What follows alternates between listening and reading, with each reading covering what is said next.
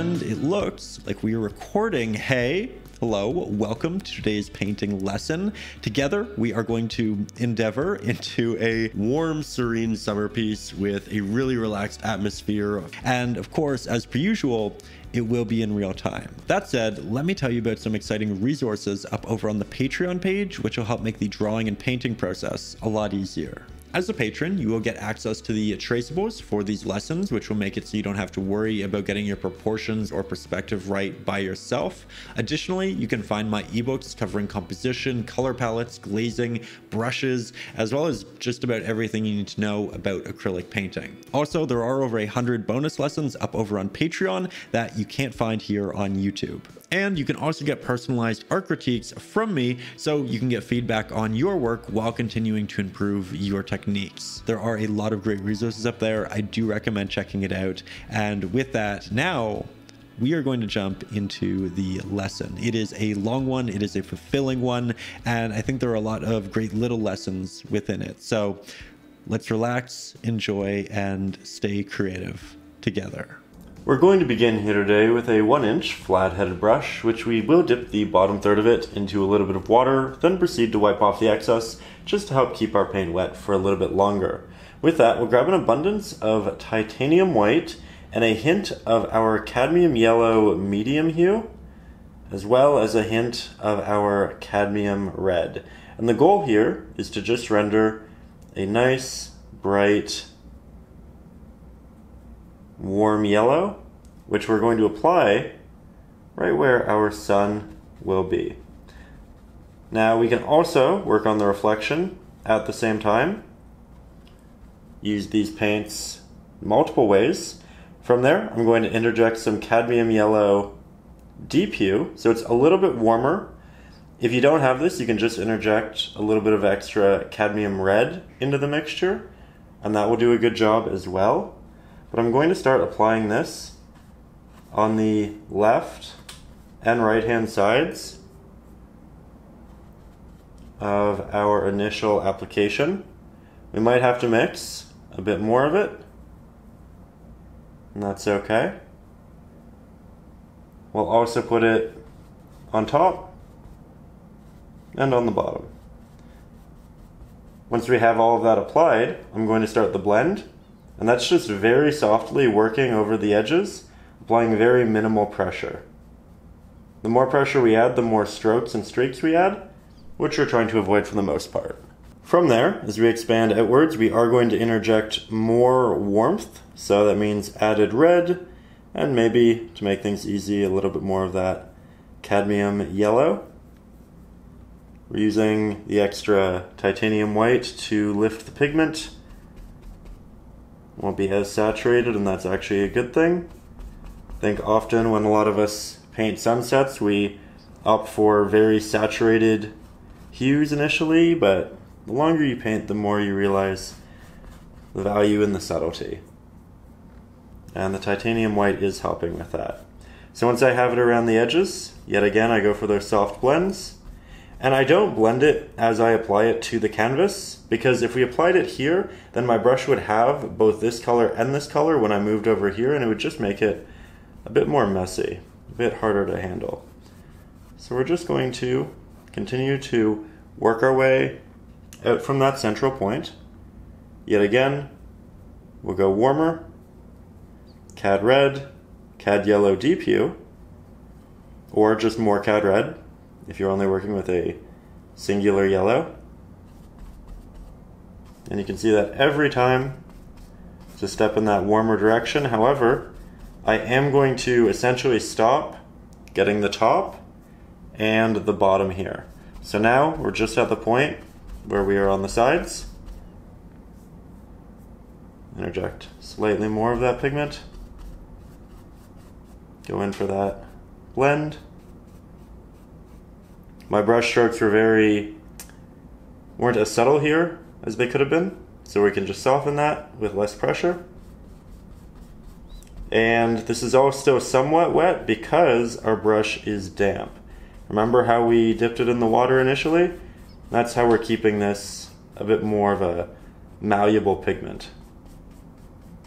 Now from there to complete our edges, we're just going to take some extra cad red, make this nice, almost pink hue. And it's becoming pink because we have a lot of titanium white in the mix, which is overpowering the yellow that we have in the mix. If the yellow and the red go together, they make an orange. If the red and the white do, then we get more of a pink. This is only our first layer. It's not going to be perfect. It might be a little rough. I can tell that my pigments are starting to dry just a little bit. That's okay though. We can always grab a bit more water on our brush and do a wet into dry blend, like so.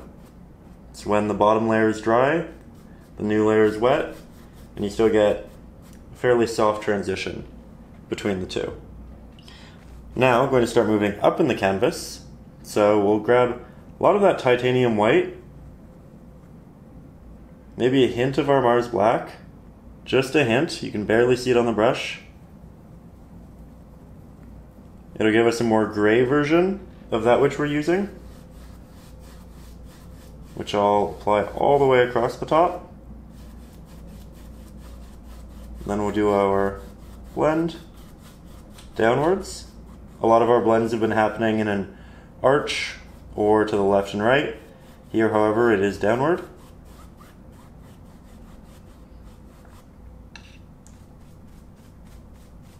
And now for the first time, we'll grab some ultramarine blue, work that in there as well. I think we want this to be a little bit brighter. Some more titanium white, more ultramarine blue. Ultramarine blue is a great pigment to use here because it's a warm blue. There are cool blues like cerulean blue, and then there are warm blues like ultramarine. And ultramarine blue is a great pigment for sunsets because sunsets are inherently warm. And this value is much better. We wanted it to be a bit brighter. Doing a soft blend down. Trying to keep my hand out of the way, but can only do so much.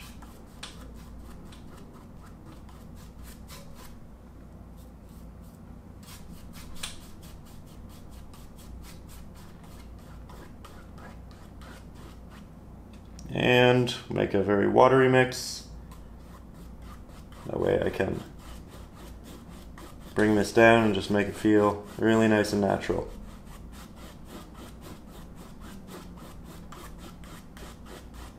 Now, admittedly, a lot of this looks pretty messy at this point. That is okay. That's because it's only layer number one. We're going to start layer number two. So starting with titanium white, a lot of it, a little bit of our cad yellows, both of which. Apply that right in that central area we began in before. Doing that on the top and bottom. Just making it nice and bright. You can see the edges are still fairly rough. That's okay. Now we interject more of that cad yellow. Work that along the edges do that subtle blend. Back to our cad yellow, hint of our cad red. You can see how much quicker it is this time than it was last because we know what we're doing, we're practiced, we've already mixed those paints, and our second layer is often going to look so much better than our first.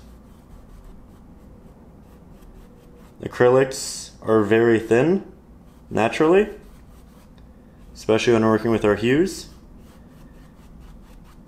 And the first layer will often look quite awkward just because of that. Need to do layers with acrylics. The more layers we add, often the better it'll look. So we're slowly just making this into more of a reddish orange. A lot of titanium white. Perfect.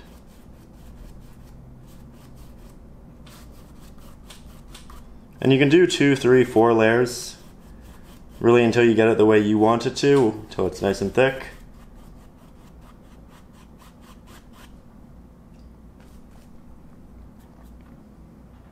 And I think we'll go a bit more yellow as we lift up actually.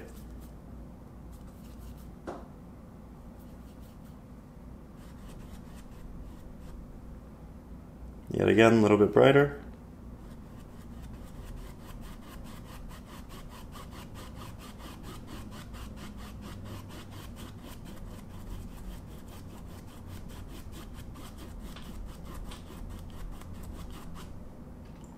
And with almost just a watery mix, I'll bring that up over the blue.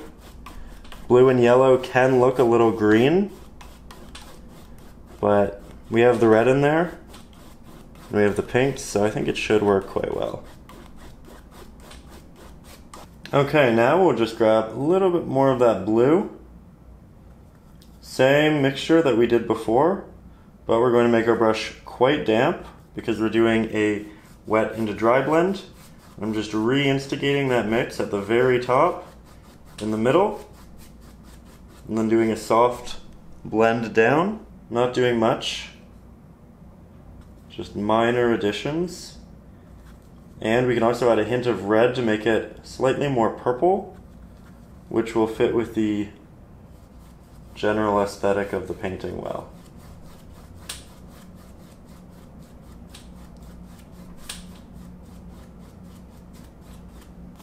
We'll work that out extensively.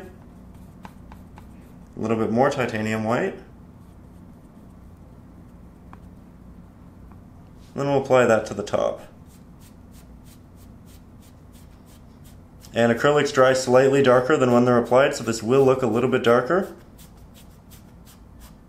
From there, we're going to switch to our filbert brush, which is great because it has these rounded corners for blending, makes it really soft. We also have this sharper edge that we can use for detail work, and it can carry a good amount of paint. Very versatile brush. So I'll make sure that's nice and damp. We'll grab our titanium white, a little bit of that cad yellow medium hue, not much. Want this predominantly to be titanium white. We just want that hint of warmth and then we can work in our sun. And I don't want it to be too distinct. I want it to be incredibly subtle, almost as if it's getting lost in the sky. And then the reflection, I'm going to do a bit of a drag down with it, like so. And then I'll use the corners of this brush, the edges, do a little blend right through there.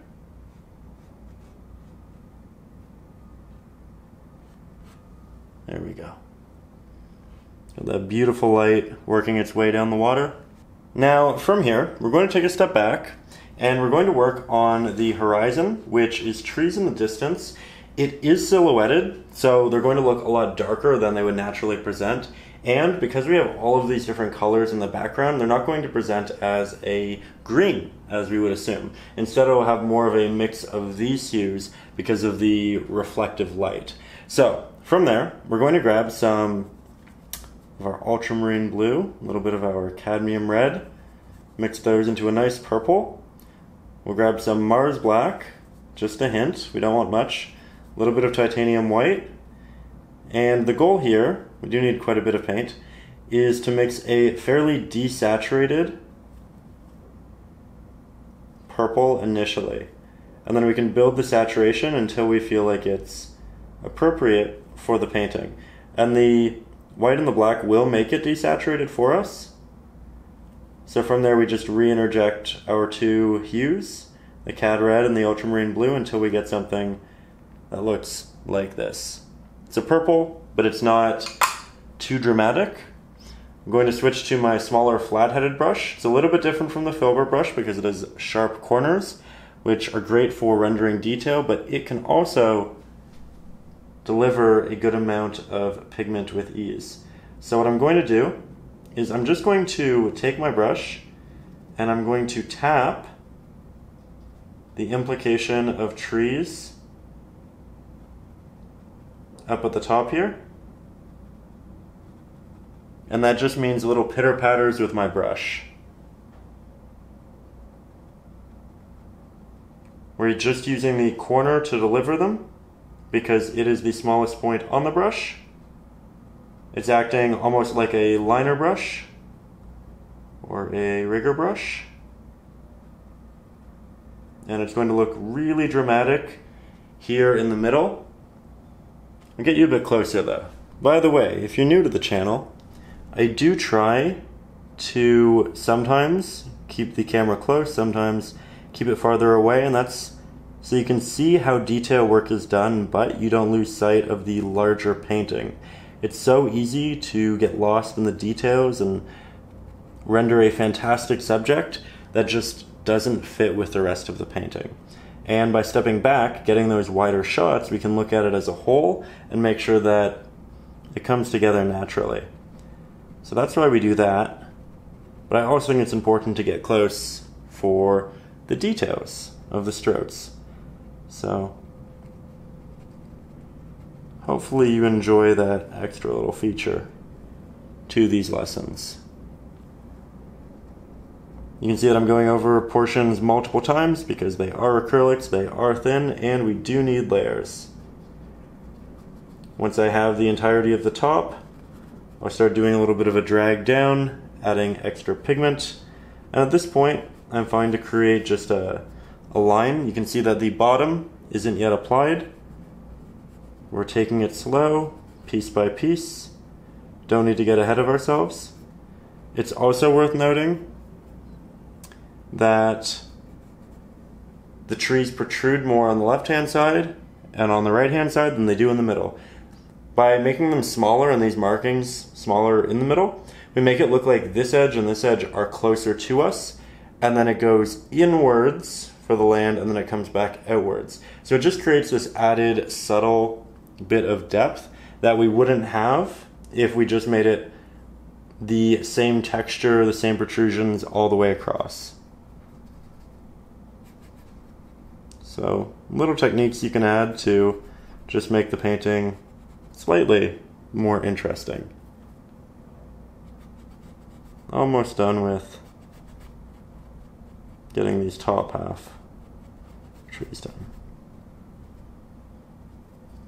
Yet again, pulling back just so we can see it as a whole. Now I'm going to try to mirror to the best of my ability the designs that we have at the top. So all of those little protrusions.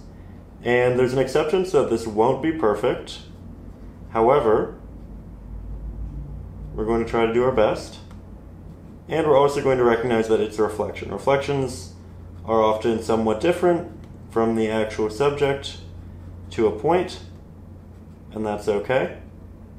My first layer is going to be thin. We'll likely need to go over it again. That's also okay. Also, a little trick for painting reflections in general. You don't need to do it here because we're painting what looks like a relatively abstract subject anyway in these silhouetted trees. But in general, if you're painting a, a face or something that has more structure, reflection of an animal, if you turn your canvas upside down, you'll stop looking at the subject as a person or as an animal or whatever you're trying to mirror, and you'll just start seeing the shapes instead. And that'll help you articulate what shapes are there to render the best reflection. It's just a little easy trick. Painting in a mirror can also help, where you look at the mirror as you paint.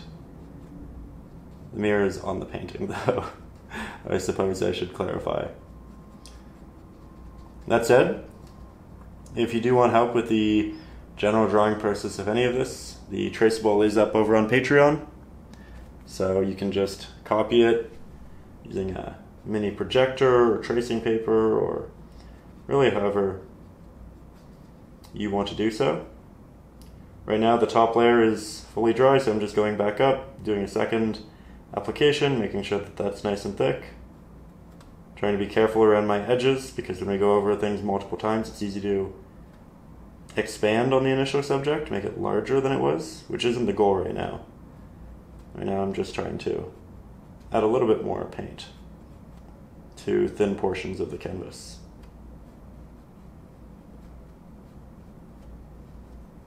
There we go. If the reflection is a little thin, that also isn't a bad thing because it means you can see the colors through it. It's a bit more interesting, but we can also cover it up as well I think I want a middle ground where portions of it are covered and opaque, and some portions are a little bit more transparent. So there is a middle ground, and I think that can be great too.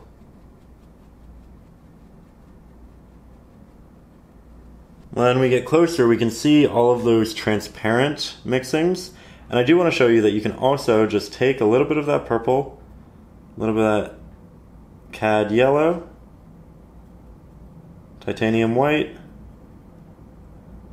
makes it quite muted, almost a little bit more of a brown, but it can also be a great pigment for the reflection, particularly towards the sun.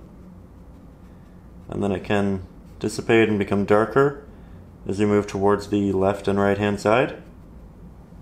Just a nice little subtlety. A lot of these paintings are made up of real subtlety, right? It's not a big bold stroke that does it. It's not some random pop of color. It's all of the micro decisions that we make along the way. That's what really builds their painting.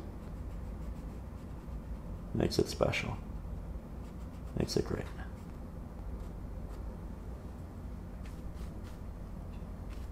Might also, we'll just test this here together. Make a bit of a warmer hue. Like so. If we don't like this, we can just paint over it with a darker hue again. You can you can watch me do it first before you commit to it. But I'm just making the trees right under the sun a little bit warmer.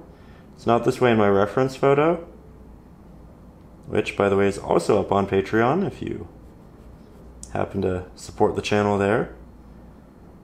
But I think it can be a nice addition.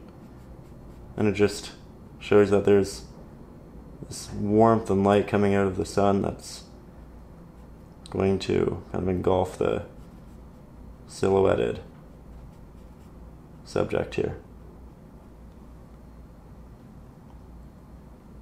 Much softer look. I think I'm going to look at this from a, a bit of a distance, decide if I like it, but the idea is that we just make it brighter in the center, let it dissipate as it moves towards the left and right,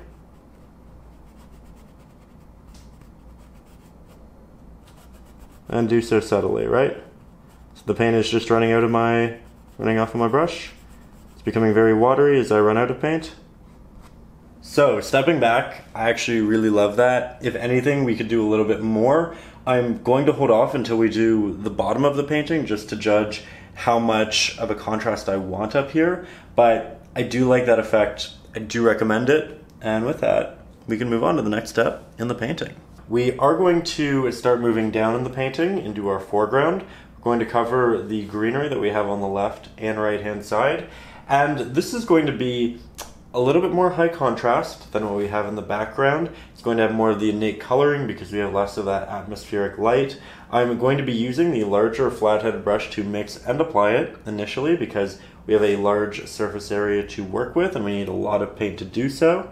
I'm also going to make sure that the back of it has a hint of that purple that we used up here just to make a cohesive transition. And then by the bottom, we're going to move more into a green, which will have our sap green. Now, I did a little test mix here, and I realized that I really like what we had. So we're going to grab an abundance of our ultramarine blue, equal mixture of our cadmium red. As you can see, it makes a very dark pigment. We're going to interject some Mars Black and Titanium White to desaturate it a little bit. We don't need to in grand abundance because the closer we get, the more saturated our subjects should be for the most part.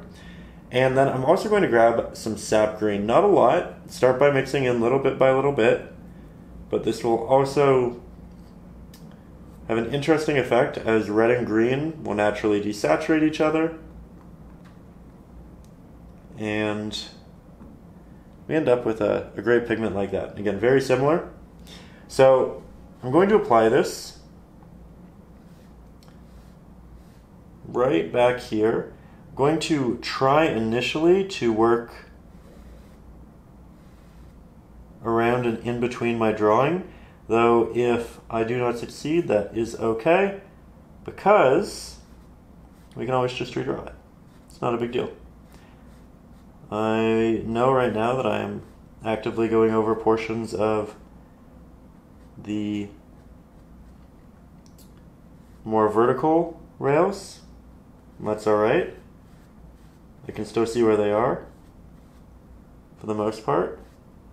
And if I falter in one way or the other, I'd rather cover up portions of the other subjects than not enough of the grass.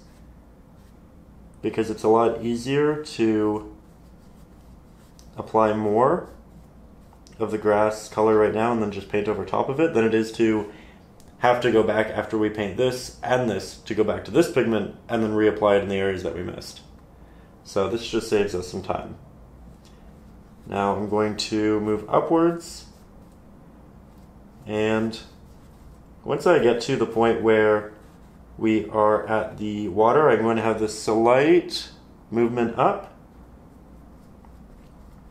and then I'm going to make sure my brush is nice and damp.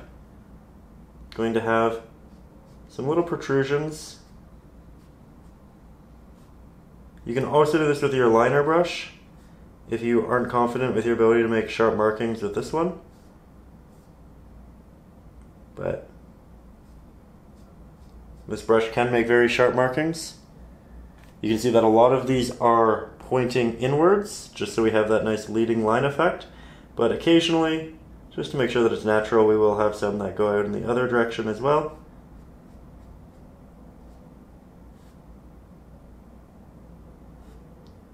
Sometimes they're going to be a lot higher than others. Creating that variance is important. Want them to be nice and thin for the most part. But again, we can also go back with our liner brush a little bit later and really build on all of that. That said, while this is still wet, and I do want to make sure that this layer right here is wet, so I'll just do a little bit more paint. We're going to grab our sap green, Mars black,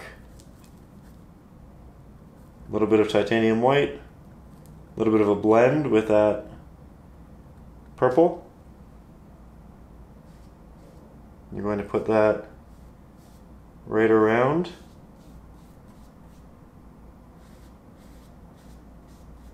the structures first and then I will do a blend of it up into the purple.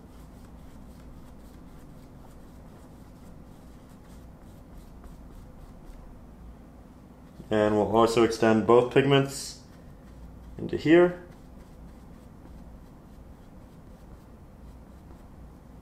And a little bit of that purple back into here. We just want a somewhat natural gradient from one color to the next. And if they're always a little bit blended, that's also great. You can barely tell the difference, but you do get that transition from the purple here to here and then into more of that innate green one would expect.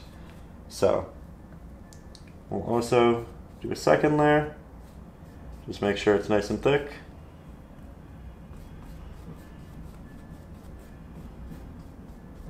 Might need to let it dry before we go ahead and do so. That way we're not just ripping up pre-existing pigment. So let's head on over to the other side. So now moving on to the other side, we'll grab that same purple, and if we want, we can even start by rendering the taller protruding pieces.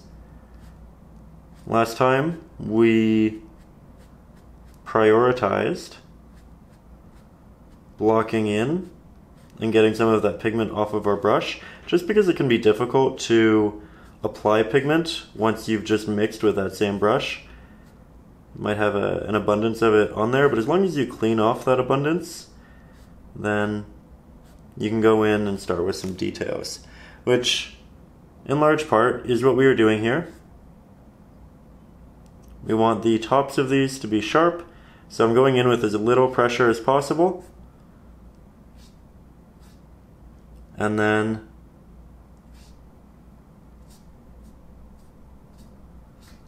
applying more pressure as I work downwards.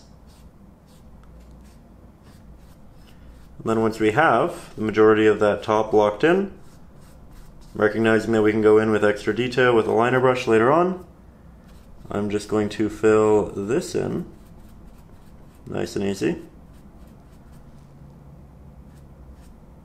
I'm accepting that I'm just redrawing the, the majority of the hand railings. That's okay. We'll leave the more prominent ones visual. At this point the pigment isn't so thin, definitely going to need more layers, but it is just helping me visualize what we're doing, where we're going with it. Here's the second layer for the top. You can see already looking better. Not amazing. We're not there yet, but it's definitely looking better. Second layer here. And honestly, if it doesn't look opaque by the second layer, do a third, do a fourth. It's not a difficult application. Might as well get it just right right? There we are. Okay, now I'm going to switch over to the more green mixture. And I'm going to apply that, again, not touching the purple yet. We want to get as much pure green covering the canvas as we can in our negative space. And then once we have that, like we do now, then we commit to the blend.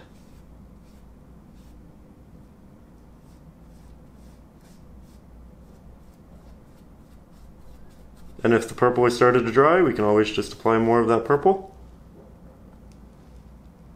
Going back and forth between the pigments will probably lead to the best blend and rendering anyway. So we're just letting it dissipate as we work our way upwards for the most part.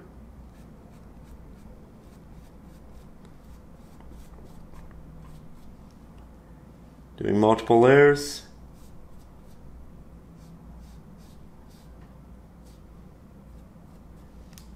Head back to our purple, do more up here. So taking a step back, our gradient is quite subtle, but I like that. Now it's time to grab the liner brush, which is our smallest brush point-wise, with the exception of the fan brush, but we get individual bristles there. Here we're going to have a controlled small application, so I'll grab some of that same pigment that I used for the top, and I'm going to start to tap on little details, little protrusions to these stems and branches and pieces of foliage. The idea is that we have the base done, and we did that with the larger flat-headed brush. And now we're going to really give it some life and offer the opportunity to also have some texture, some depth. That'll come as we really expand upon this application.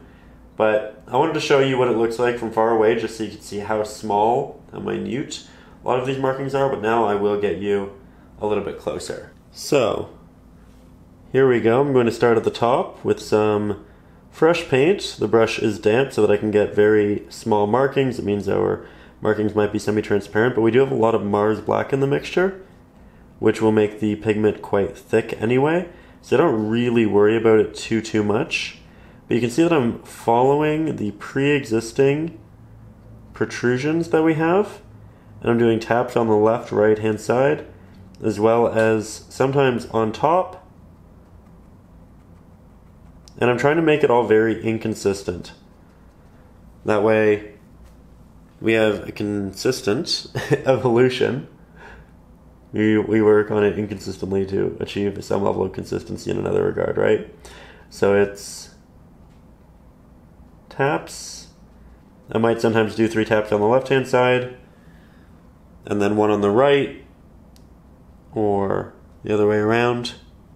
We really just want to make sure that no two portions look exactly the same beside each other. And that the left and right hand side of each of them don't look the same. Some of them can be more sparse than others.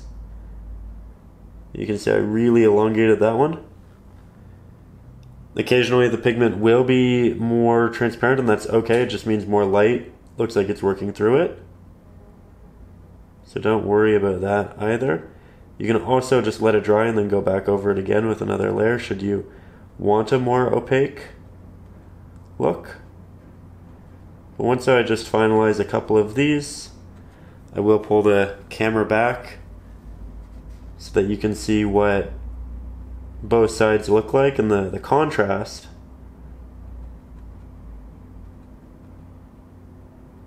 between the taps and just the line work.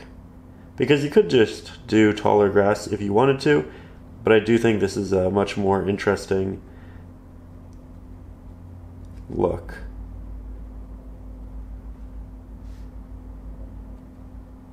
So here we are, pretty dramatic difference, if I do say so, between these here. I'm definitely a fan of all of that texture, and much like everything else you've done, after that first time, you kind of get a hang of it, you feel much more comfortable, and you can apply that pigment so much more quickly because you know how you're doing it. A lot of it's more so learning how to do it and the amounts, the separation. It's not so much that the technique is laborious or it takes a grand amount of time. It's more so just figuring out how to do it, make it look best. And then once you have that understanding, you kind of double down and we can make it happen relatively quickly. But I'm still trying to make sure that they're different heights, they go in different directions, there's various amounts of opacities. They crisscross here and there. So many ways to make it unique. And that's what we're doing. We can also occasionally show portions of the, the stem or the body or that larger cluster of foliage. Sometimes they'll also overlap to a great deal and therefore create a, a larger area as well. We can also make some of them much taller, and I like to do that towards the edges because it creates a vignette effect. So here, I'll expand dramatically.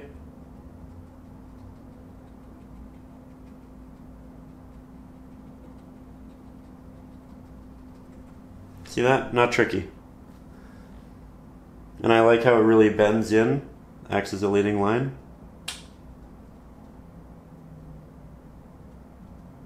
Just like that. And then of course from there you can go back and expand however you'd like. Like how this kind of reaches up towards the sun. I think that's a an interesting look which I want to mirror on this side, but I don't want to copy it because I think it would be too obvious. It wouldn't look natural.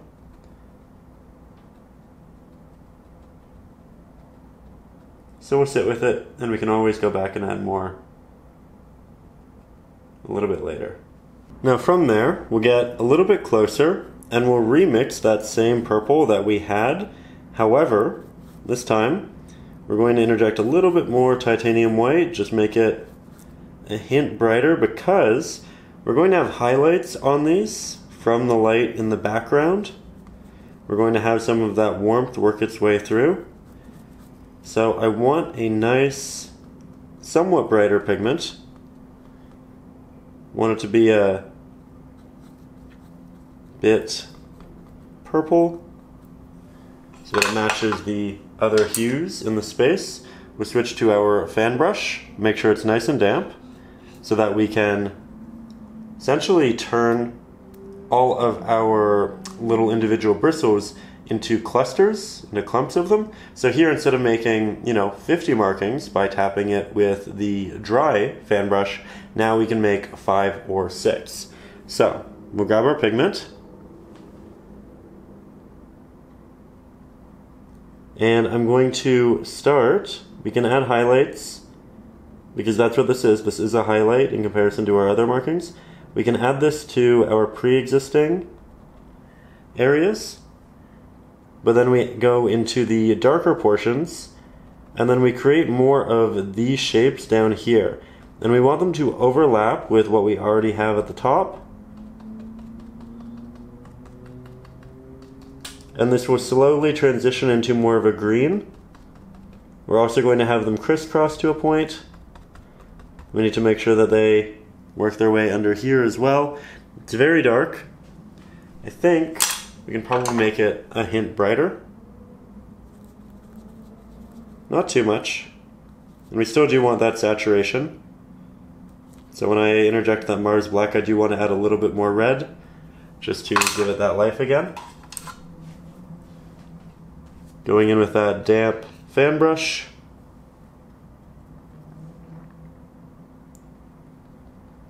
And at this point I'm going to try to work on top of the previous markings that we already made. As to not visually overcomplicate the setting, the subjects. You can see just how quickly we're able to accumulate these subjects and markings. And a lot of them are moving up somewhat vertically, with, of course, little bends to the left and right. Typically, the bottom portion is the larger portion, and then it gets taller, or rather, as it gets taller, it gets smaller.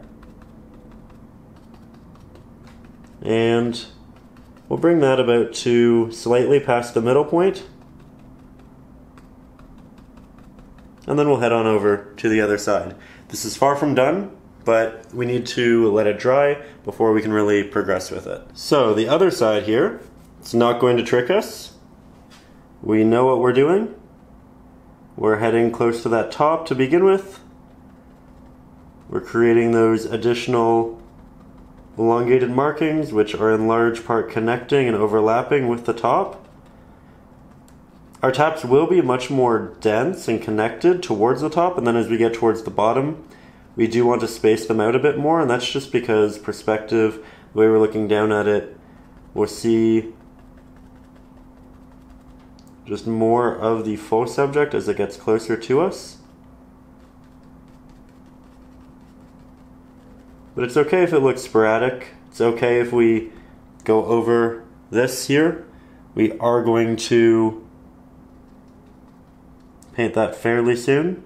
And we can just paint over these pigments with ease, right? Not a big deal.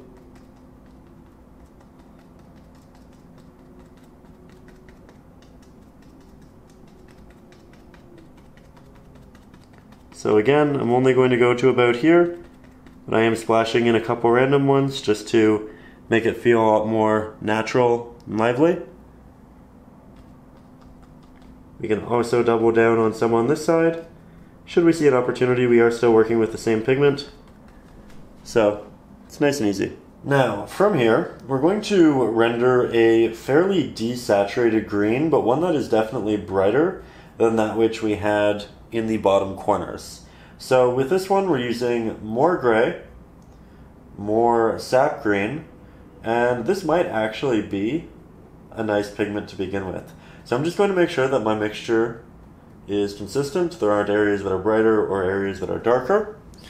And I'll switch over to our liner brush briefly, make sure it's nice and damp, grab some pigment, and then I'll go in give it a try. And here's where we just interject little potential stems, bodies, all of that into the painting. This is something that you can do before all of the purple applications, but I wanted to do it after so that I didn't overdo it. And I'm kind of just working this in between a lot of the openings. Occasionally they're crisscrossing. There's going to be a lot more down towards the bottom. They're going to be larger down towards the bottom as well. We are going to drag them off the canvas. And I'll get you closer for the other side. Now, despite the green being quite bright here, if you look at it right there up close, you notice that they're not all that similar. That's because we are using a damp brush. We have very transparent pigment. We have a very dark base.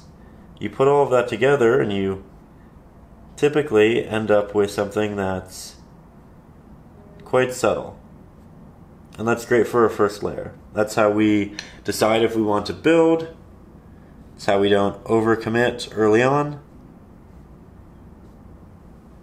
But as you can see, just working the bottom in here.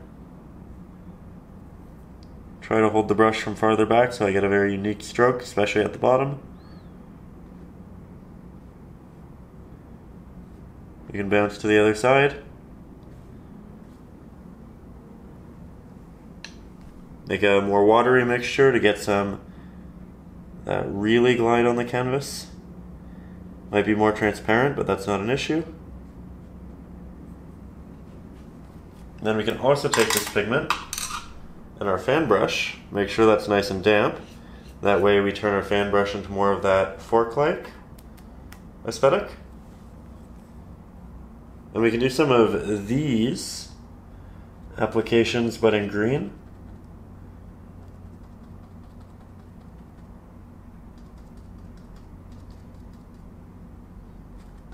I think it's the mixture of both that'll end up looking really nice as we continue to add pigment to this still somewhat void area. We are yet to do highlights, we're yet to do real details. We're still just placing in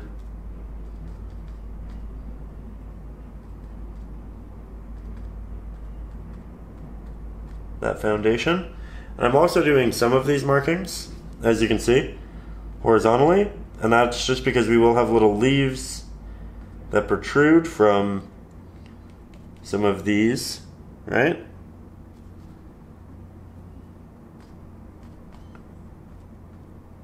And because we're adding more purple, we can apply these without worry that they all overlap the purple. We will fix the depth in that in additional layers. But then we can also do the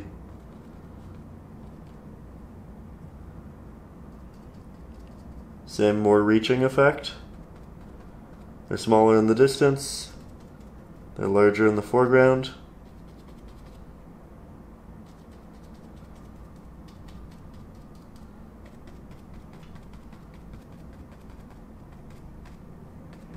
And the goal is just to make it feel natural.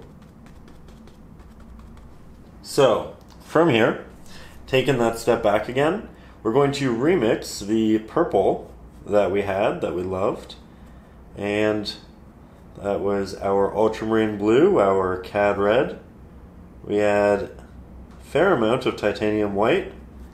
I'm remixing it over the older purple that we had because I do want this to be brighter, a little bit more saturated. And the easiest way to make sure we do that is to have that direct comparison and contrast with the previous one. Now I am finding that I'm continuously having to go back and just add a lot more of these because of the amount of titanium white I'm needing to add to brighten it. So this mix definitely has a lot less Mars black. That's okay. Now we're going back to the fan brush. I did clean it so that it doesn't have any of the green. I am going to yet again make sure that it's nice and damp. Get that fork-like effect, more of a soft bristled fan brush effect than a, a stiff, despite the fact that this is a stiff, it just works both ways. And then I'm going to start to tap on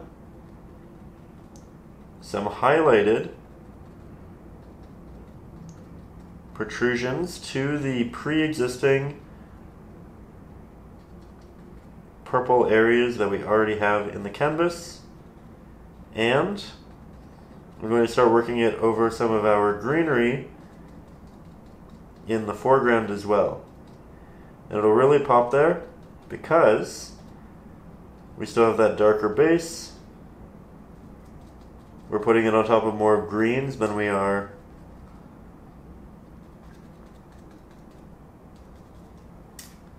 purples. And I know it's still very subtle. I'm trying to whenever I move the camera back like this, I always worry, oh, they won't be able to see. But it's kind of the point that you can't really see, right? It shows you just how subtle it is. That said, I'm just going to tap on a couple more of these, and then I will get you closer. As we get to a stage where it matters when we are close and you can see that detail. Right now I'm just tapping it on in the same way that we were before. Really nothing new to this application. So, closer and soon to be brighter. Now, as we make this mixture brighter and brighter, I am going to lessen the amount of ultramarine blue slightly. We're going to make it a more cadmium red heavy mix. I still want that purple, but I just want it to be a little bit more pinkish purple than a bluish purple. So we can have it lean to one side while still incorporating the other. I'm trying to mix a good amount, I'm trying to mix it wide on the palette. This looks like it will be quite a bit brighter. However, we are still applying it over to a dark backdrop. So, we'll see. Going to start on the prominent one that I know I like. And I'm being fairly careful with this mixture because it is stark in comparison to that which we've had. So I'm not applying the entirety of the brush. At this point it's about a fifth. Sometimes I'm just using the singular little forking piece at the left hand side and it's only one. We'll need a lot up here because this is where the majority of the light is.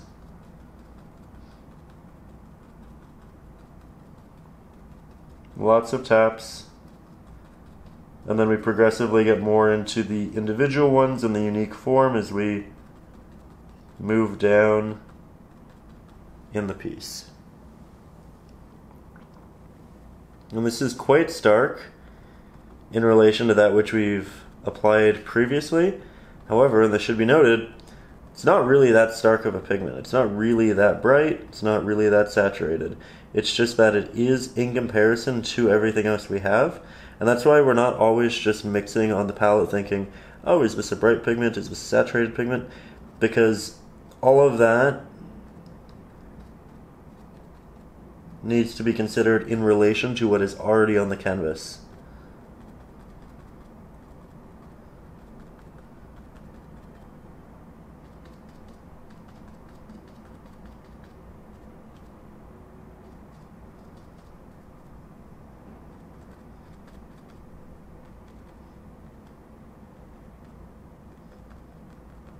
And then it's quite noticeable up close because again we do have that very dark backdrop. We're not applying it over a green foundation. So we want our markings to be nice and sharp as they will be much more prominent through here. If we look at that side in comparison to that side I think it's evident we're moving in the right direction. So, set over here, again, a lot of brighter pigments towards the top. Much more condensed in application, They're a lot closer together. I think my brush might be a little too watery. My markings are quite large. You know what? Might actually be okay. If you do find your brushes too watery though, do just wipe it off on a little painting cloth. Get that extra pigment off there. And then go back in. It's not hard, it doesn't take long, and can render a much tighter, more intentional effect when you want it to be. Now, this isn't something where we want all of these to be highly intentional. Sometimes you want that randomization factor. But we want the control, right?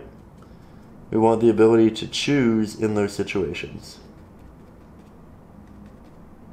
So we're starting to build those nice brighter pigments. Let's, yet again, get even brighter. More titanium white, that will desaturate, so we need more cad red, we need more ultramarine blue. And I do want this to be a bit of a pink, but we are still retaining that blue. So put that down, pick up our fan brush yet again, and I am going to start with this pigment in the distance because it is even brighter and if it's dramatically so, I want to ensure that we are initially getting the areas that are getting the most light. As you progressively move back and down, all of these subjects will get significantly more shadows. And we need to be aware of that. I'm going to do less towards the left and right hand side as well, just because I don't want to draw the eye over there. And here I'm only really applying this initially to the tops of our protruding pieces. And maybe the side a little bit. And my thought process here is that the tops are just going to be receiving more light than the bottom portions because they will cast shadows on themselves and each other and this would just be a, a good way of going about it. Now, as always, we've done a bit from far away. Let's get you a bit closer. The difference between our two sides isn't that dramatic, but I think it's dramatic enough to show that an extra layer like this does do some real work. It is worth mixing up that pigment and going in yet again. So what is our rule? We start at the top when we work with these much brighter values. Try to make sure that we're not expanding upon our subjects too dramatically up here. We still want them to have those sharp edges. And then as we work down, we just apply it to the tops of a lot of our little protruding pieces.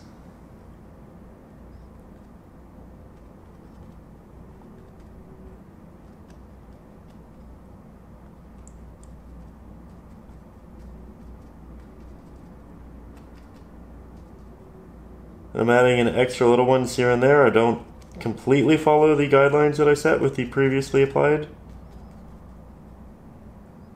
protruding purple areas. Sometimes we do expand.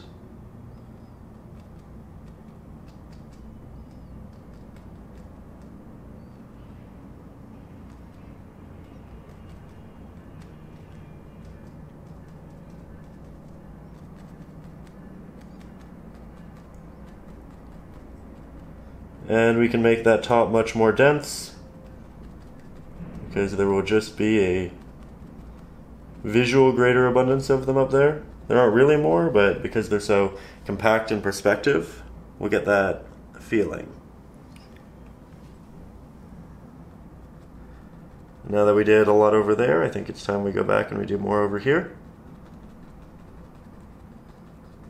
We're taking away detail and that we're separating them less but it does help the piece because we don't need that detail. And having more of a cohesive, pattern driven subject will make it look better than the individuality of each protruding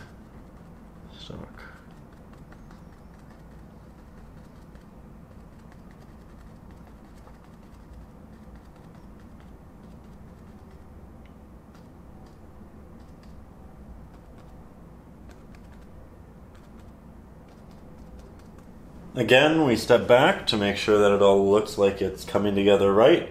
And I think we can make it even brighter. So I'm going to grab a lot of titanium white. There's a hint of Mars black in here that's consistently diluting it, and that is okay because I should be adding some Mars black. But here we're going for the brightest mix yet. Still want some saturation. I like this color a lot.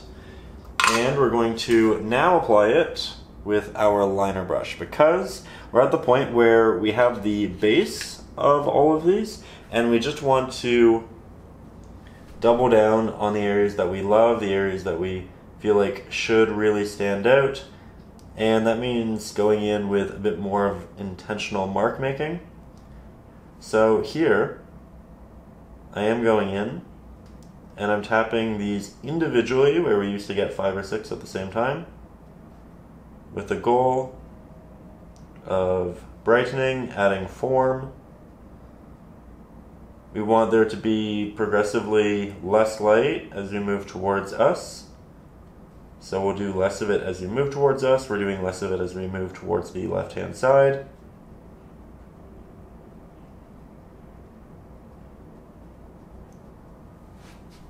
That said, as always, let's get you closer. So going into this, we're going to grab a good amount of paint. We're going to head up to the top here. And while I want to spend a lot of time at the top, really working my way across because all of these areas need that abundance of light, I am going to just move down quickly to show you really what we're aiming to build here. I'll do it on this side. Picking the tops of some of my favorite pieces and working down.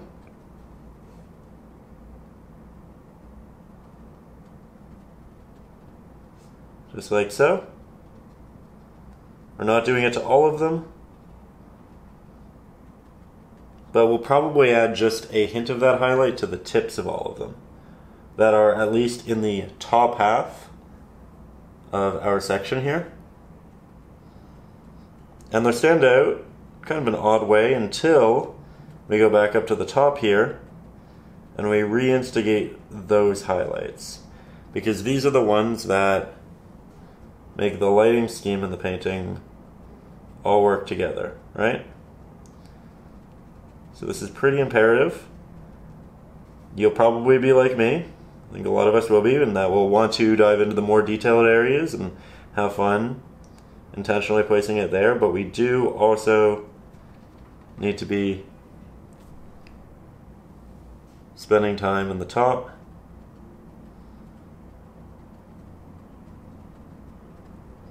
Like so. Then we can work our way down.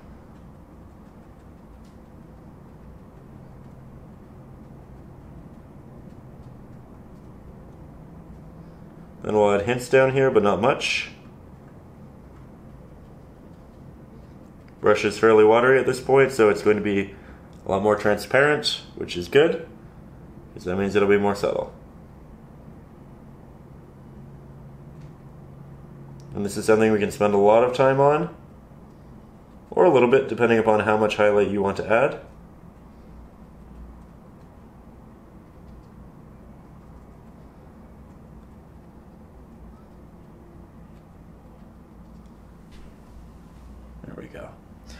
Look at that side in comparison to that side. Makes a big difference.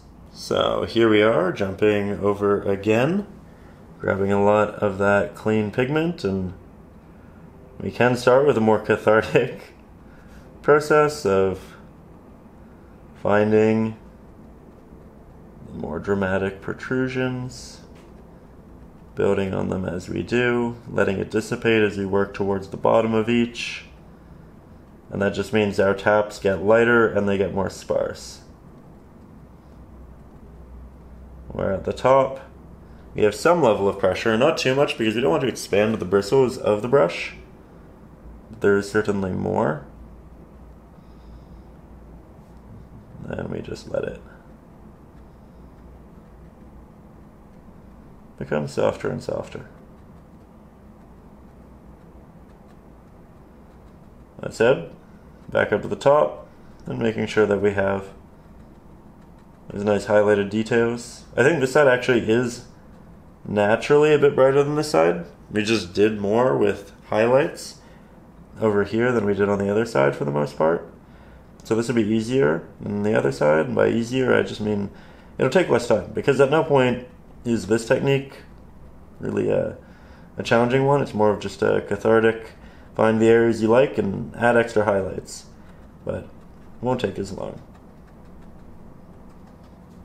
Said, still doing less on the edges, little bits here and there.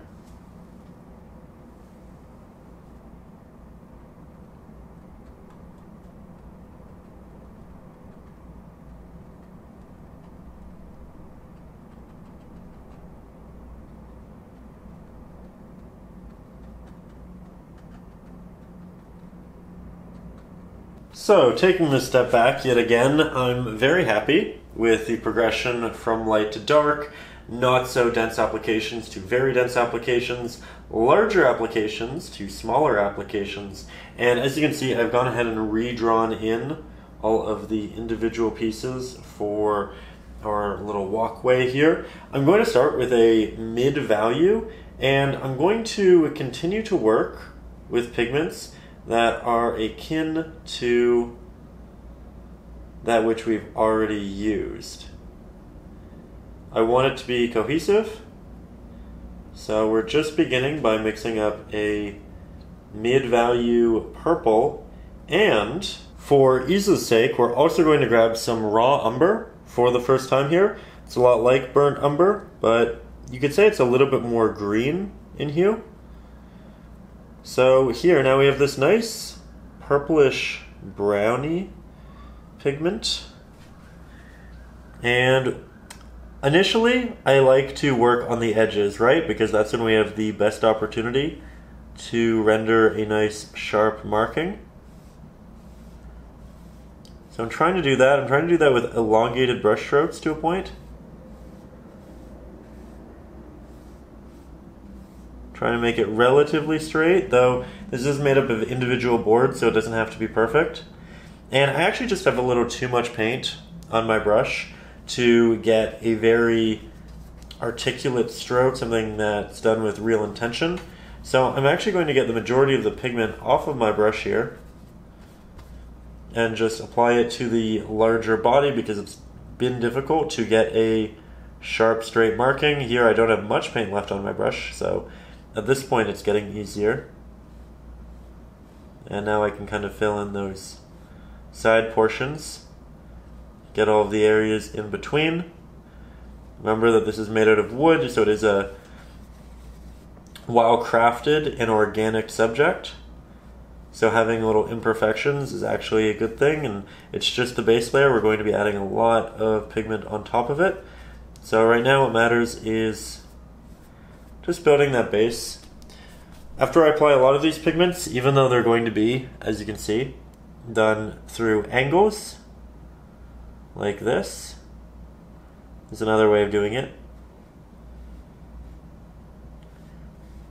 Just because I'm going in this direction doesn't mean I'm going to stay in that direction. Now I'm going to try to pull out of that pigment back towards the center because if these brush strokes are seen later on, if they're still visually present in later layers, I want them to be horizontal because that's the movement that we see in the wood, the wood grain, all of that. So I'm trying to be quite intentional with the last strokes being across the canvas. Right now you can see that it's quite reflective, especially through here. The pigment's quite a bit darker and it will dry darker, but for now, it's just going to look a hint brighter. Just Going to grab some extra water. We don't really want to thin it too much because we want a thick application, but it really can help. We just keep inching closer here so you can see a little bit better, but I'm actually going to make this mixture a little bit more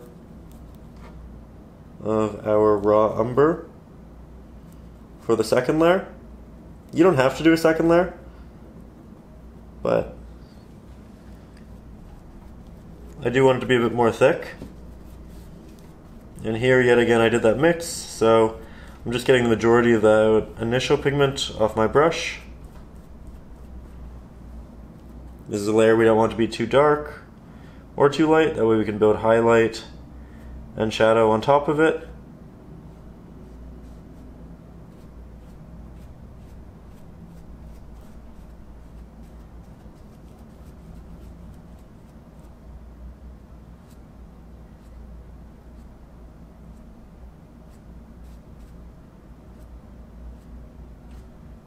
There we go.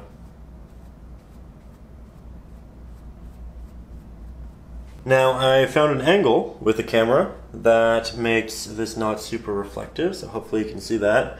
It's natural hue and value well. From here, I'm going to go in and I'm going to start crafting the railings. And I'm going to do so with small little taps. I'm trying not to do longer ones right here, just because when you do, sometimes you can incorporate an arch in your mark making, and I just want mine to be fairly straight. Again, it doesn't have to be absolutely perfect just by virtue of the subject we are rendering, but I think that extra care will go a long way.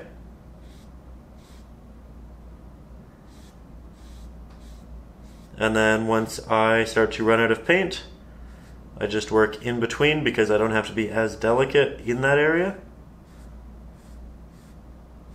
But I will grab more pigment before repositioning for the edge. And it's also worth noting that, again, we talked about it at the start of the lesson, but if you would like help with the drawing process, making sure that all of this is exactly as it should be, you can find the traceable which you can print out and use a tracing paper or use a mini projector or any of those other techniques to get this on your canvas. You can find that up over on Patreon. You can also find the reference photo, which I admittedly took a lot of artistic liberties with. Dramatic changes, but I am a big believer in artistic liberties when they can greatly aid a painting Sometimes you just want to change the mood or atmosphere. Big, big believer that that can be extremely beneficial and can also make it fun, right? You get to interject more of yourself, make it unique. A lot of benefits there. But again, the traceable is up over on Patreon, where you can also get a lot of bonus lessons Right now we're working on a 24 by 36 inch canvas in multiple parts. We've been working on it for a couple of weeks. There are, I think, four episodes up right now. But if you like working on these lessons, but you want to work on a larger canvas, there are a couple of series up there that are much larger. You can also get access to my ebooks, which includes Acrylics for Beginners, which essentially teaches you everything you need to know about painting with acrylics. There are also ebooks full of traceables for those uninspired days. Sometimes I upload additional reference photos. You can get access to our exclusive Facebook group where everybody shares their artwork, their renditions of these pieces. So you get to see other unique ways of adding and building onto it ask questions with the rest of the community. It's a really positive, supportive place.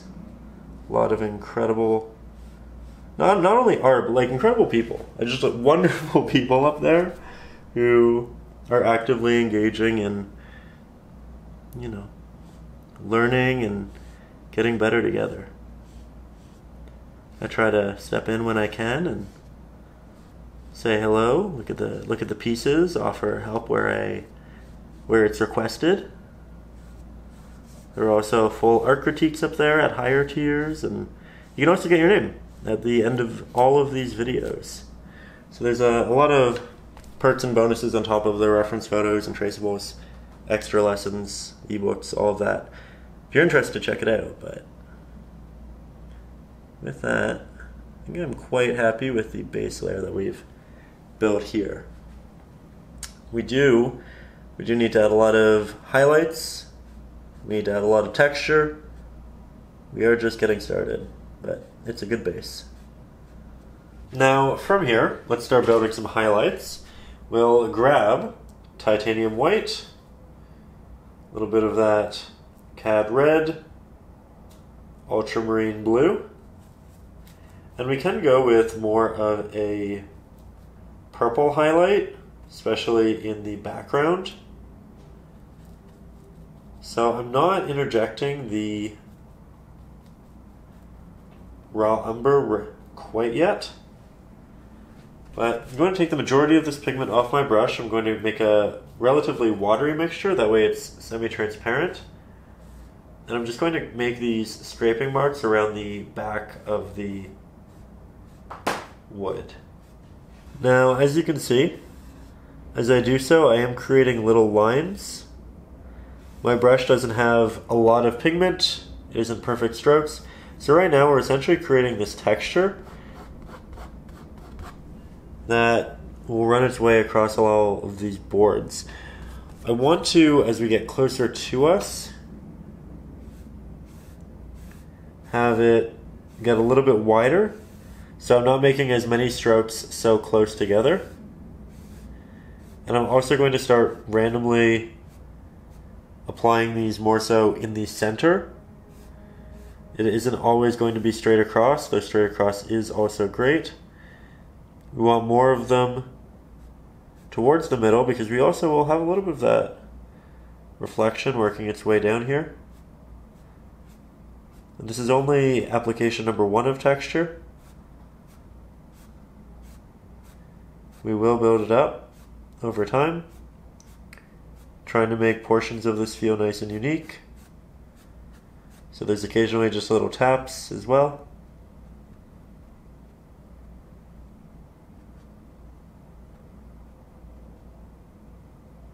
But so many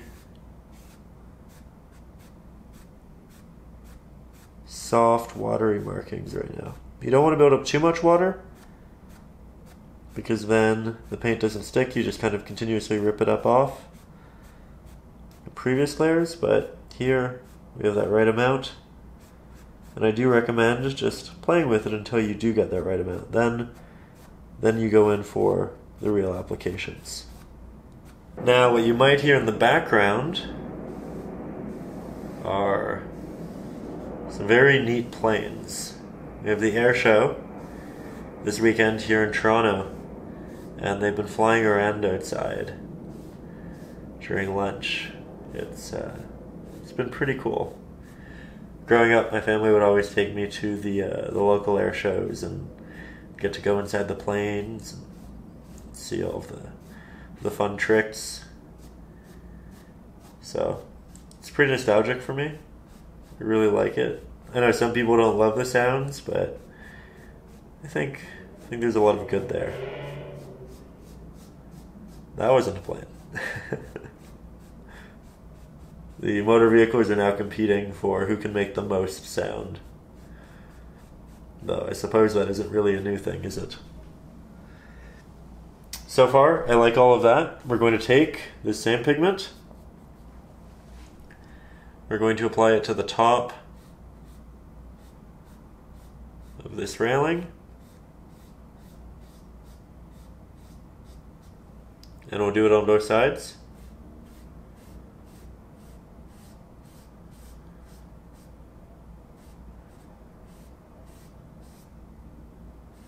Build that up make it fairly opaque.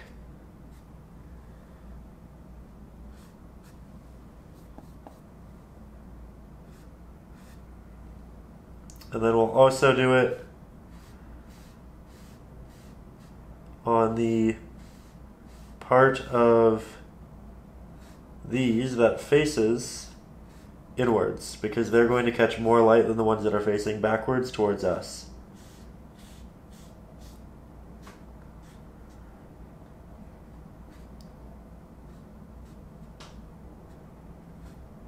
And this is true for both sides. However, on the left hand side, rather on the right hand side, we're painting it on the left hand side of the actual pieces, where on the left hand side, we're painting it on the right hand side of the pieces. It's a convoluted sentence, but I think you know what I mean. It's always just the area that is pointing inwards.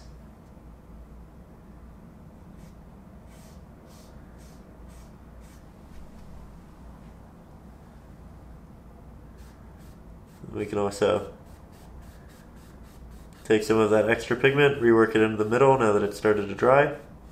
It's not too watery, not too wet. We'll apply a good amount to the back there.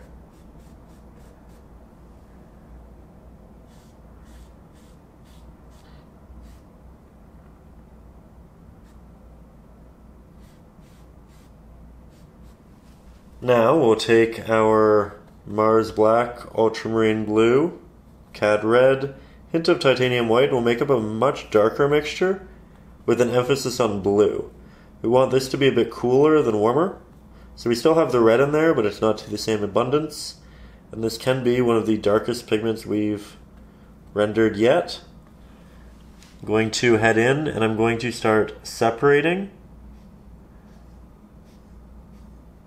some of the boards that this is comprised of.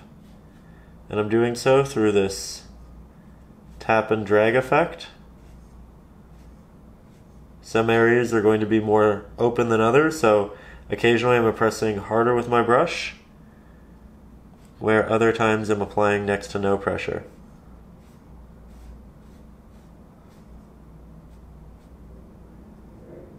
These boards aren't going to be perfect, so variance isn't a bad thing. And as we get farther away from us, we're going to make them more condensed. So they're going to start getting closer and closer together. We're also going to want our markings to get smaller and smaller.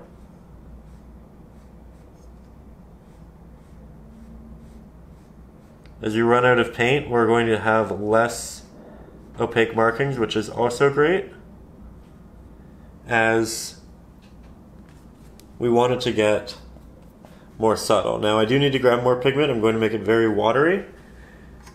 And I'm going to take the initial pigment off in areas that we've already established. That way when we go back to this, we don't have anything dramatic.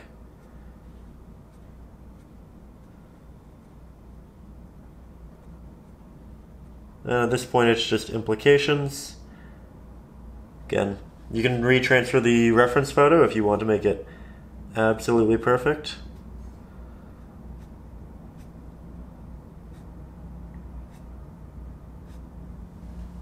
Like that.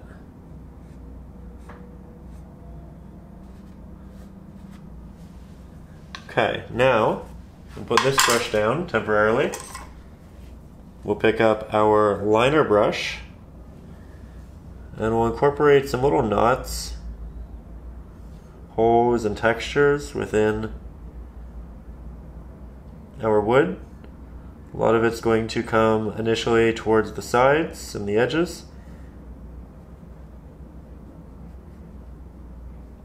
It's very watery. I'm applying next to no pressure with my brush. A lot of these textures are going to happen more so towards the foreground and us initially. Just because we'll be able to see more detail on subjects that are closer.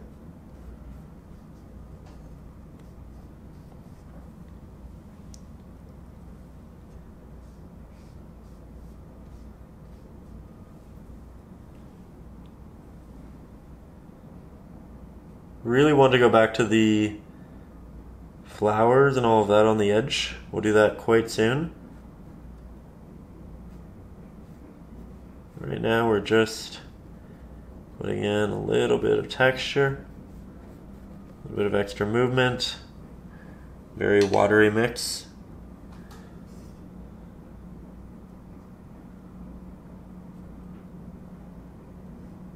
We can even do tiny taps. Which initially visually will stand out greatly to you because they are the only tapping motion and it's new to us, but it's one of those things where once you apply, you take those steps back, you give it a little bit of time, it'll feel really natural. You won't really notice them. They'll just subtly, subconsciously add to the piece. Now we're going to switch yet again to a different brush, that being the smaller flathead. And I'm going to take this darker hue and incorporate it towards the back of these posts. Probably just the first three or four.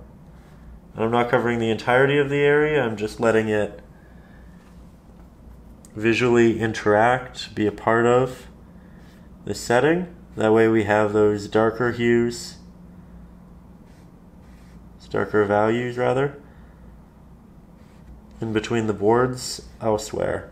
So it just feels a lot more cohesive this way structure makes more sense. We can also add just a hint of it towards us over here. Do a little blend. Just let it softly transition.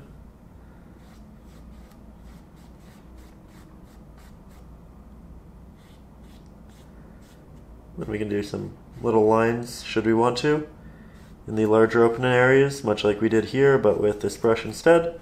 You can switch back to the liner brush, but I felt like this one would do the job fairly well. And then I'm also going to take this and then just with a very watery mix, work it along my edges towards the center. This will give us slightly more dimension and again have the portions in the middle just match something else well. We're not looking to outline it. We're really not looking to outline it. We're just trying to give the area a little bit of a silhouette in general. So, stepping back, love the amount of texture we have in there, love the progression. It is drying quite a bit darker. I'm okay with that. If we wanted it to be brighter, we could just go back over it again with the larger flathead and just reinstigate those highlights. You could also make them a little bit more of that pinkish purple. However, we are now going to head in and extend some of this to overlap and go in between these. It'll add a lot of detail, a lot of dimension, so let's uh, let's have some fun with it. So we're going to start by remixing some of the purples that we initially had which, as you probably remember, are a little bit more red dominant than they are blue dominant. Though we do still need the blue. We still need a little bit of Mars black, not much, and an abundance of titanium white. We can render different variants of this. So we can bounce back and forth between colors, which means some areas will be a little bit more red, some areas can be a bit of that purple, but now we switch back to the smaller liner brush. Grab that pigment. And I'm going to want to find areas that looked like they were pre-existing pieces of our flowers like this and then we just layer those on top and over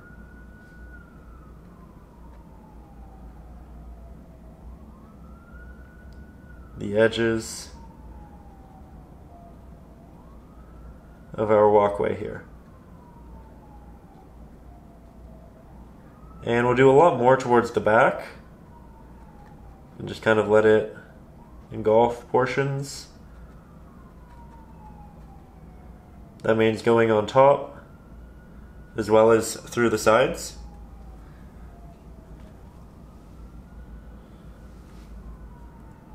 And multiple layers will help us build that up nicely. If there are any portions that you don't love, this is a great easy way to kind of cover those up a little bit.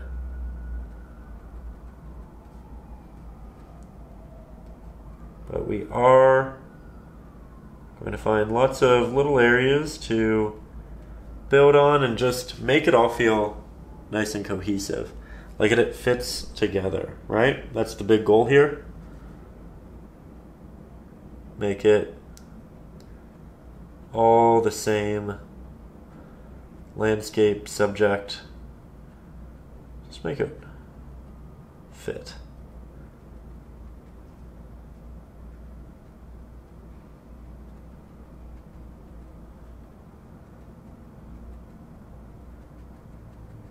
Like this one a lot. We painted quite a few of these, so at this point it should come fairly naturally.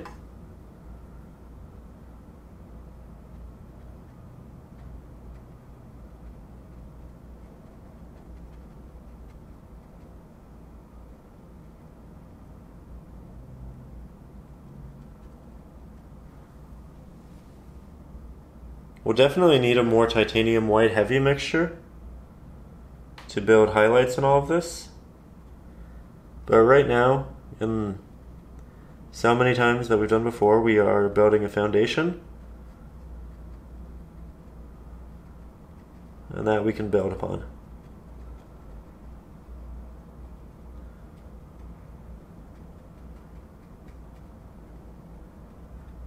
Sometimes you're working on much taller ones. Sometimes they're quite low. And then occasionally we can just have little pieces that are blown off and sitting on the wood. Should get smaller as we get into the distance.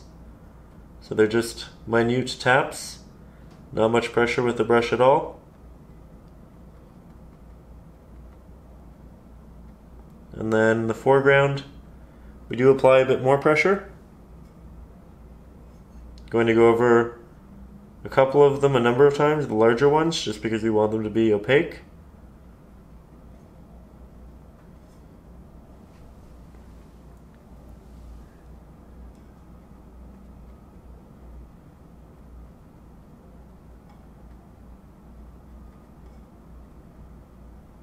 Like that a lot.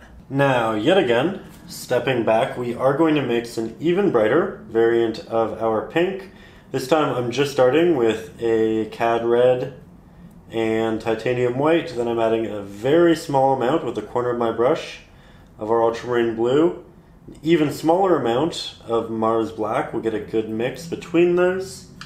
Switch over to, you guessed it, the liner brush, which will make nice and damp. And from there, we'll throw highlights onto the areas we just applied. Because they were watery and we have a dark base, they likely ended up a lot darker than when we applied them, at least what we had on our palette. So this is our opportunity to build those up and make it all feel nice and cohesive. I'm also doing a number of these that go up and over our wooden portions. We can have some that kind of sit on the top of these as well. They don't all need to be just on the ground. Trying to make them at different heights on opposite sides though.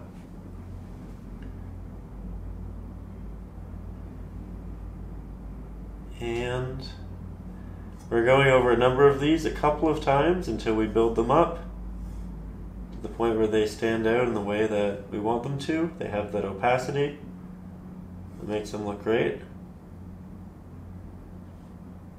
It's one of those things where we go in initially with very little and we have that less is more approach. Over time, we build and we end up with something that we really love.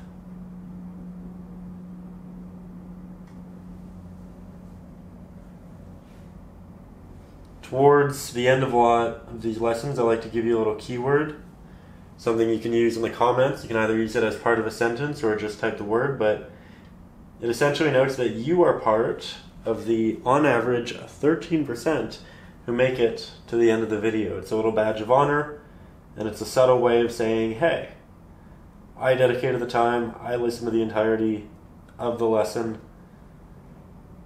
and I'll know, everybody else who got to this point will know, but only the people who got to the end will know. That's the fun part about it. It's the subtle little note. So today, instead of doing a word, I think we'll do a little phrase, and that's final days of summer or final day of summer. You could just type that in the comments, noting that perhaps this looks like it, or you can tell me about your final days of summer, how you like to spend them, what you like to look at, maybe a memory. Always find that really fun to go a little bit deeper with it and just explore what everybody's thinking. So, final days of summer is the key term. And I'd also just like to say, take this minute, to say a big thank you to A, everybody watching for being here, but also, in big part, big thank you to everybody up over on the Patreon page. It is because of you that I'm able to take the time to make these longer lessons, put them on YouTube, and release them in the way that we do. If it wasn't for you and your support, in no world would I be able to do what I do for a living and make these. And, and this is all really because of you. So thank you for this opportunity. Thank you for supporting me, supporting this channel, making all of this happen. I uh, I don't think I'll ever be able to say enough thank yous for this opportunity because I love doing what I do and I just I appreciate all of you greatly for making it happen. That said, I will continue to try to give you the best lessons I possibly can. and give you a lot of extra content up on the Patreon as well. Again, I uh, I just uploaded episode four of our large 24 by 36 inch piece. So if you haven't checked that out yet, you can do so now, as we are just concluding this. And again, if you're new here, you can find the the traceables, the ebooks, all of that good stuff, bonus lessons but but really, really thank you. It was such a pleasure to work on this, and I hope you guys all feel inspired and excited and ready to go out and create your own rendition, something that you are proud of and excited about. Feel like I can just stay here all day and tap on these little applications, but it's really was a pleasure. I will see you next week with another lesson. So if you haven't already, hit the subscribe button, but more importantly, hit the little notification bell at the bottom. That way, YouTube will let you know when the next lesson is out. I've been painting a lot lately. I intend to continue painting a lot, like we have been, and very soon fall will be here, which means fall lessons and fall colors and all of that fun as well. I'm really looking forward to it. Seeing what we what we come up with together. But with that, thank you for being here. Thank you for your time. Thank you to all of the support. And we'll see you soon. So, above all, and uh, as always, you stay creative. You enjoy, you relax. And by the way, don't forget to uh, have a little water break here and there, have a little bit of food. Try to mention in every lesson. I don't know that I did this one, but it is a friendly reminder. We need sturdy hands when we're painting detail, and if we're not eating, we're not drinking, we're probably a little bit shaky, makes it a little bit harder. So just make sure you're taking care of yourself. Make sure you're being healthy. I know that it's really easy to lose yourself in a painting for hours on end, and that's a an amazing thing to be that inspired and dedicated, and you know. But do make sure you're taking care of yourself too. That matters. And uh, again, I will see you next week with a brand new painting lesson. Take care.